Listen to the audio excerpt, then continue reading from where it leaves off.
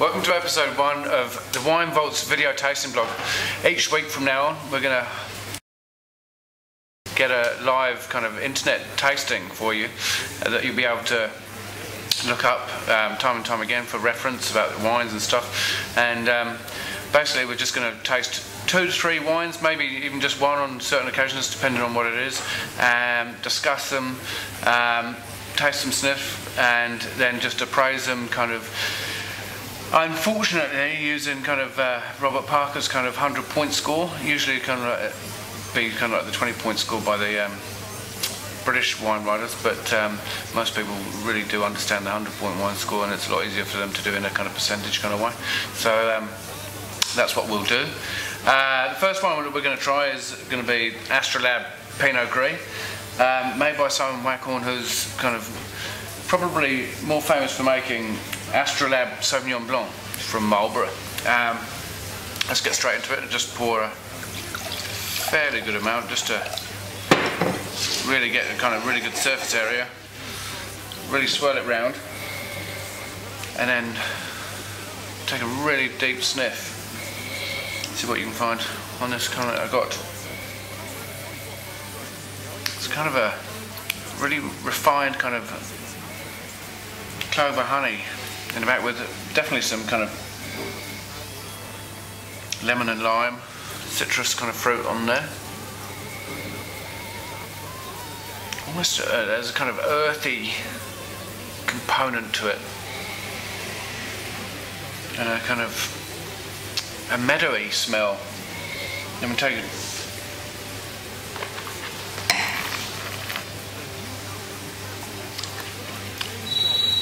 No, don't have to worry about the spittoon. Hopefully, kind of uh, won't get too um, hammered on the first first show. Did lack a bit of acid. Very, really soft, supple fruit but not much acid holding it together. But the fruit's really nice, ripe.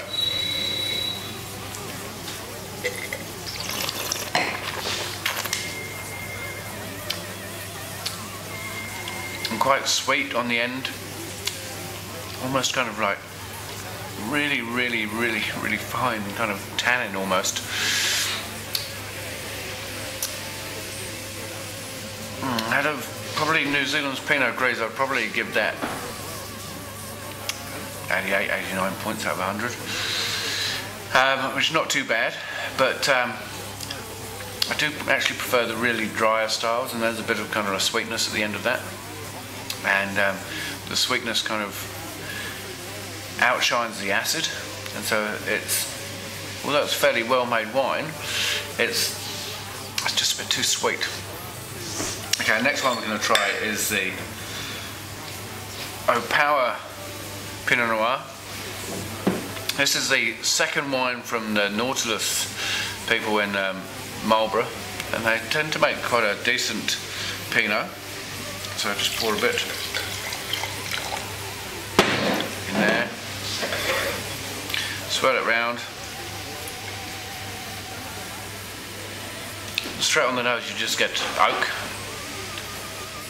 quite a bit of oak. And kind of, you do get fruit coming through, and it's quite a nice colour. Um, doesn't look like it's over extracted, although it does look fairly brown around the edges, even though it's only a 2007.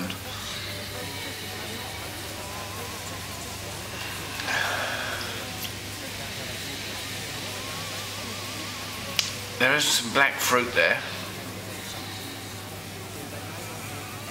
some kind of black currant.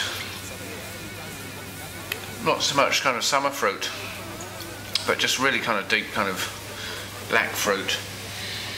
A lot of it's covered with oak, so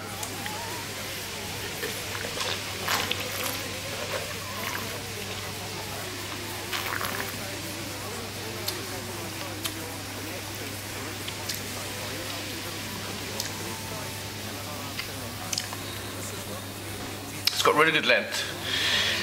It's got an abundance of fruit there, and then it goes into a quite savoury kind of taste. Um, really, really fine kind of tannin structure, quite good acid. Um,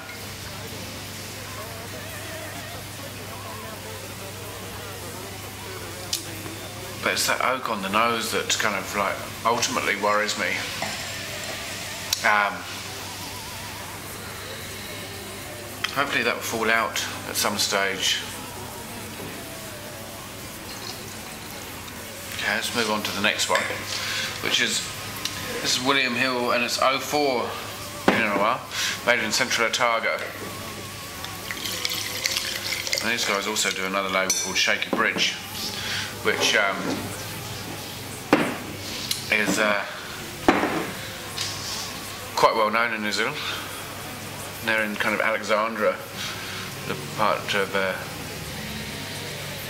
Central Otago, just more Cromwell, um, Clyde way, rather than Queenstown. Now, this wine on the nose smells absolutely delicious. It's got really nice, good fruit, not a kind of abundant amount of oak coming through on the nose. Slight kind of uh, foresty, foresty floor kind of component on the nose. More savoury.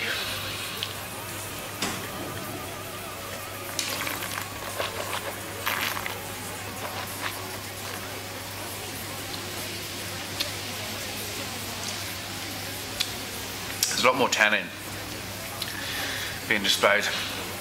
Very fine tannin. And the acid is really good. And the fruit is going on. Not an overly dark kind of uh, colour to the Pinot. Um, but the fruit's really good. The acid's really good. The um, use of oak is very good. It doesn't dominate. It's uh, quite harmonious.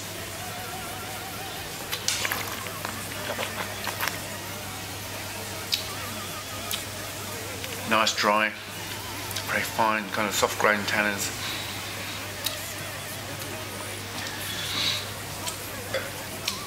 For a New World Pinot, I think it's rates pretty well. Um, obviously not kind of like typical Burgundy, but um, it is quite characteristic of Central Otago. I'll probably give it kind of late 80s, early 90s, um, scoring out of 100. Hopefully, um, on this kind of voyage that we take, kind of doing these videos, kind of we'll discover some kind of hidden gems that uh, rank in the high 90s. But um, it's a pretty good start, I think. And uh, yeah, hope to see you next time. Cheers.